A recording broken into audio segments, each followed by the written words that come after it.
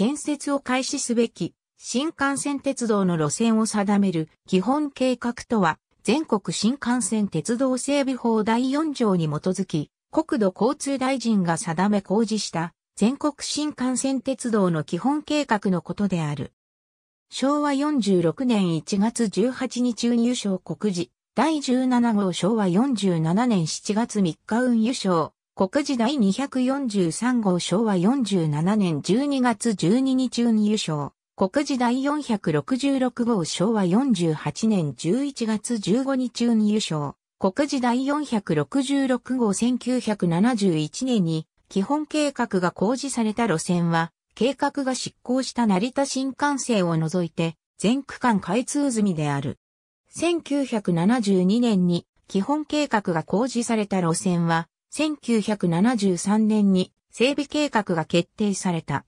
これらの路線は整備新幹線と呼ばれ、一部区間が開通済み、または着工済みであるが、未着工区間も存在する。1973年に基本計画が公示された路線は、2011年に中央新幹線の整備計画が決定された。その他区間については2020年現在、未着工である。2017年度以降毎年、国土交通省は今後の国土における幹線鉄道網の整備手法について、幹線鉄道ネットワーク等のあり方に関する調査についてと関して調査を実施しており、対象には基本計画線も含まれている。基本計画線に関するものとしては、単線方式による新幹線の整備コストや輸送力、瀬戸大橋に新幹線を複線整備した場合の後期と費用、新しい費用弁益費の計算手法の構成要素と、なり得る新幹線機械通区間の流動分析などが挙げられる。平成29年度の調査では、関係する地域や観光客数の現状を把握し、財政的な制約の中で、より効果的、効率的に新幹線を整備する手法についての事例の抽出や課題の整理が行われた。基礎的なデータ収集、整理、新幹線整備による沿線地域への波及効果、沿線地域の取り組み、海外の高速鉄道整備の事例、実態の調査が行われた。効率的な新幹線整備手法の研究、単線による整備、ミニ新幹線方式による整備、既存インフラを活用した整備に関する検討が行われた。在来線高速化手法、既存の幹線鉄道との接続手法等の研究、幹線鉄道の高速化や接続性の向上について検討された。2020年の中国の高速鉄道網の完成後、北京から各省の中心都市に行くのに必要な最短時間を示す地図。高速鉄道の開業により、広州、深セン、香港が片道8時間圏内に入った。北京と広州は約 2400km 離れており、これは札幌鹿児島間の距離に相当する。基礎的なデータ収集、整理効率的な新幹線整備手法の研究在来線高速化手法、既存の幹線鉄道との接続手法等の研究、令和元年度の調査では、前年度の調査結果を踏まえて、下記の事項について調査が行われた。ケーススタディの実施、単線新幹線の有効性や課題の検討、具体的な条件を設定し、路線全体のコスト削減率の検討が行われた。新幹線整備後の在来線の将来像にかかる検討の深度化、新幹線整備が在来線の利用に与える影響が在来線のタイプ別に分析された。新幹線の整備効果に関する検討、各新幹線駅の特性と利用状況の関係の整理が行われた。単線による新幹線整備前年度までの検討結果をもとにケーススタディが実施された。駅間距離が最短 10km から最長 50km にトンネル区間の割合が3割から7割に設定され、単線新幹線のコスト縮減効果と運行上の課題の整理が行われた。路線全体で最大15%程度のコスト削減効果がある。一方で、表低速度は最大20%程度低下することが分かった。今後の調査では、ケーススタディの結果を踏まえ、より合理的な整備、運行手法についての検討が行われる。このケーススタディでは、途中で分岐、合流がある全長 300km の路線を単線で整備する場合について分析された。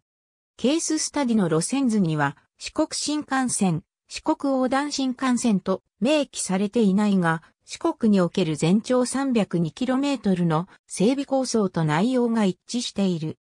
各駅の名前と所在地が書かれていないが、各駅の構造と駅間距離を読み取れるため、A 駅が山陽新幹線との分岐点となる岡山駅であれば、K 駅が徳島市、I 駅が高松市、E 駅が四国中央市、H 駅が松山市、L 駅が高知市の駅と推定できる。新幹線整備後の在来線の将来像新幹線整備は沿線地域の並行在来線をはじめとする在来線の利用者数に影響を与えてきた。令和元年度調査では新幹線整備が在来線に与える影響を明らかにし、新幹線整備後の在来線の将来像について検討された。人口減少化で並行在来線の経営が今後さらに厳しさを増していくことにも十分留意しつつ、沿線地域の特性と将来需要の見通しに応じて、地域における具体的な交通体系のあり方を整理することが必要であるとしている。令和元年度調査では、整備新幹線周辺の在来線56路線、70ケースの輸送量の変化が分析された。新幹線の開業前年度と翌年度を比較した場合、全ケース中、増加、横ばいのケースは約6割、減少したケースは約3割だった。開業翌年度から5年間を見ても増加、横ばいのケースは約6割だった。この分析では、開業前年度と翌年度の比較では2%の変化を、開業翌年度より5年間の比較では5%の変化を輸送量の増減の判断基準としている。輸送人員の増加が見られるのは主に定期外の利用であり、開業に合わせて観光施策を講じ、輸送量を増加させたと考えられる。